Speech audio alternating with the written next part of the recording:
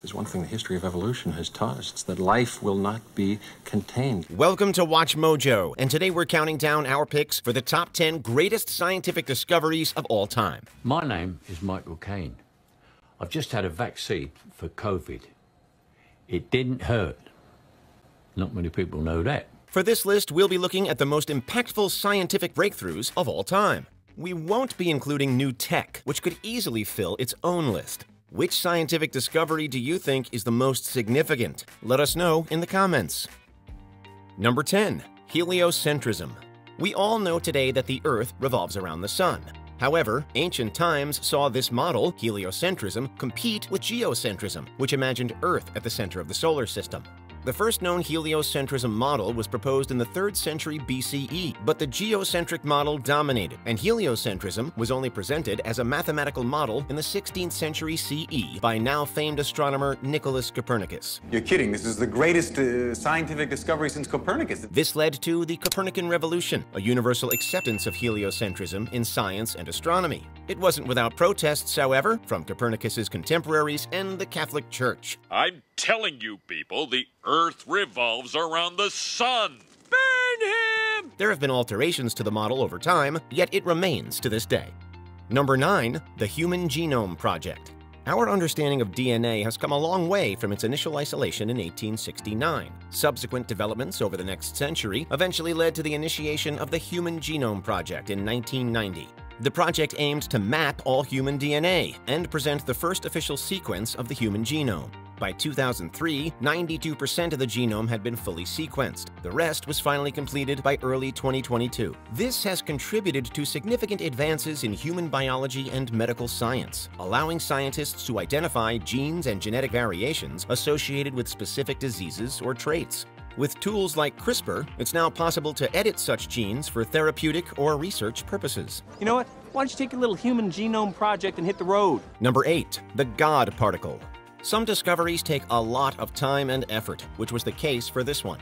The Higgs boson particle was first theorized in 1964 by Peter Higgs and his colleagues. Here, that piece of space in front of me now, and indeed inside me, and in every piece of space out to the edge of the universe, is crammed full of these Higgs particles. It's been referred to as the God particle, as it's considered responsible for providing mass to all matter.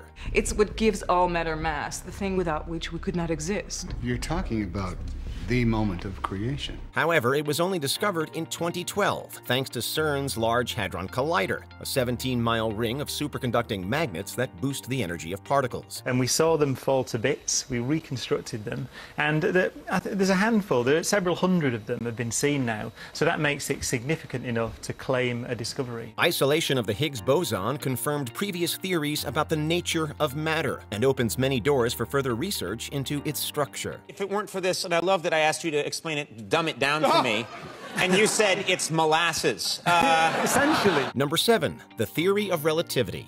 Time is relative, okay?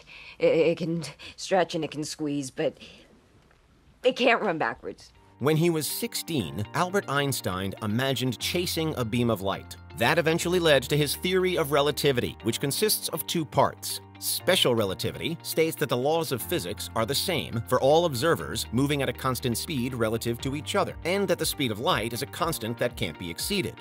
One result is the famous equation E equals mc squared, where E stands for energy, m for mass, and c for the speed of light.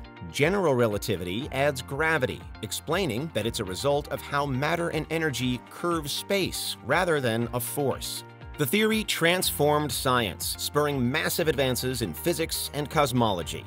Number 6. Quantum Mechanics Einstein's general theory of relativity is excellent for studying objects at large scales. However, when it comes to the smallest scales, scientists rely on quantum mechanics. The term was coined in the 1920s by physicists working to fill in the blanks in classical physics. It involves some incredibly counterintuitive concepts, such as the uncertainty principle and quantum entanglement, which involves spooky action at a distance. However, for now, it's the best theory we have to explain the behavior of atoms and subatomic particles. The study of quantum mechanics has led to the development of key technologies such as lasers, MRI machines, transistors, and more. What is the correct interpretation of quantum mechanics? Since every interpretation gives exactly the same answer to every measurement, they are all equally correct. However, I know you believe in the many worlds interpretation, so I'll say that. Now, do you think I'm smart enough? Number 5. The Big Bang. Interestingly, the term Big Bang was coined by an astronomer who considered the theory to be mistaken. Kaboom, blam! Oh, excuse me again, dear. On a BBC radio program in 1949, physicist Fred Hoyle proclaimed his disagreement with the, quote, hypothesis that all matter in the universe was created in one Big Bang. The theory has since become widely accepted. Around 13.787 billion years ago, an infinitely dense singularity exploded, creating space and time and everything in it. Everything the light touches is our kingdom. The theory originated with the realization that the universe is expanding and received landmark evidence with the discovery of cosmic microwave background radiation in 1965. It allowed us to calculate the approximate age of the universe and begin to understand the history of the cosmos and our very minor place within it. Number 4. Evolution. The concept of evolution dates back to ancient Greece when, in 500 BCE, philosopher Anaximander suggested that humans must have evolved from other animals. You can't fight evolution, I was built for speed. However, evolutionary ideas weren't scientifically theorized and published until Charles Darwin's On the Origin of Species in 1859. Darwin theorized that through natural selection, species evolved to better survive their respective environments and reproduce. These fossils gave him one of the first clues about evolution. For example, observing the remains of a mylodon, a giant animal similar to the sloth, he thought that those similarities were probably not a coincidence. In 1863, biologist Thomas Henry Huxley published the book Evidence as to Man's Place in Nature, which suggested that humans and apes are in the same family tree. The theory has met with considerable opposition from some religious groups, but ample evidence has built a strong scientific consensus. Number 3. Germs. A few decades before germ theory replaced miasma theory, which blamed bad air for diseases, Hungarian obstetrician Ignaz Semmelweis made a shocking discovery. In 1847, he found that when medical practitioners washed their hands, it significantly reduced patient mortality. This can't be just coincidence, it can't be. His peers jeered at his discovery, but really he was just ahead of his time.